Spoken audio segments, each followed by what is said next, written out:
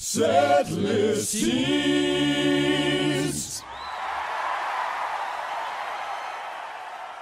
Welcome, everybody, once again to another edition of your favorite small video commercial on YouTube uh, for Setlist Tees. Today's Setlist Tee of the day is from July 2nd, 1994. Uh, this actually was the first Setlist Tee that was ever made.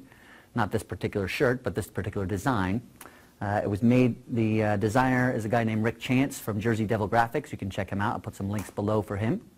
Uh, but him and I, this is the first show that we attended together as friends way back before the war uh, in uh, the summer of 94.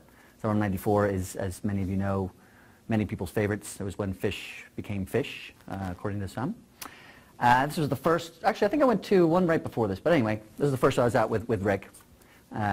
And so great show. I think for me, some of the highlights were the, you know, they had a Golgi opener. So I was like, I saw you with the ticket stub in your hand, things kicking into gear. The scent, uh, scent of a mule jam, while some now, you know, 15 years later or uh, maybe 25 years later, no, 20, eh, 22 years later, uh, you know, people are kind of taking it for granted. But when they were kind of going back and forth with the scent jam, that was pretty awesome at the time. I remember being down in the pit.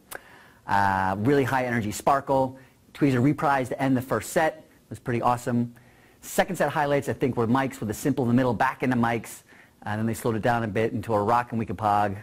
You know, Slave, towards the end of the set was, was pretty amazing. And uh, in fact, it was, I remember really, I'm remembering now, powerful Slave. Uh, and then, you know, a Rift Encore, which some people, in fact, I can't remember when there was another one. So it was a big, big, big day. Shout out today goes to AJ Masthay at Masthay Studios. If you guys you've probably seen his stuff. For my opinion, it's some of the best artwork out there as far as concert promotion goes, as far as music um, type of stuff. So check him out at masthaystudios.com. You can follow him on Facebook at facebook.com slash masthaystudios, and you can check him out on Twitter at ajmasthay. So uh, check him out.